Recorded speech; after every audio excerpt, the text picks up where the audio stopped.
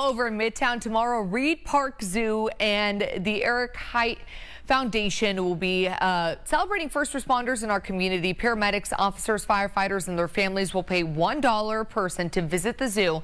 Families can come visit the zoo from 10 a.m. to 12 p.m. tomorrow. Zoo workers will have snacks and giveaways ready, and all you need is a badge or pay stub to join in on that fun.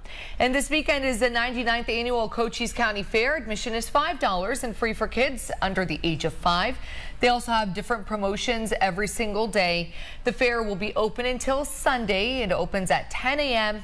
and will remain open throughout the weekend. And both those events sound like fun if you ask me, yeah, Tina. No, I'm excited. Except the 90s, still a little warm to yeah, my liking. Yeah, it's going to be those mid to high 90s for the next couple of days. But take a look at Cochise County right now. We're seeing 90s and some 80s there. So perhaps at the fair, it'll be just maybe a little bit cooler, maybe go later on in the day instead of those peak afternoon hours. And that's going to be, we're, we're going to see a consistent forecast throughout uh, the weekend and going into next week. We do have a triple digit there on Friday, but we'll keep an eye on that one.